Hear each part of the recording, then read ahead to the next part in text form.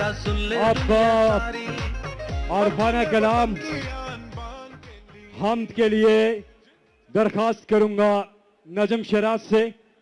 और ये देखे कि अल्लाह ताला ने इमरान खान साहब को मौजादी तौर पर बचाया और जिस पर गोलियाँ चली तो यही हम जो है वो हमारे कंटेनर से चल रही थी। अल्लाह अल्लाह अल्लाह की बरकत कलाम की बरकतों से अल्लाह ताला ने इमरान खान साहब की जान को महफूज रखा। नजम शराज साहब शुक्रिया फैसल। सब साथ मिलके पढ़ेंगे। ये इमरान खान साहब की फेवरेट कवाली है, पसंदीदा कवाली है।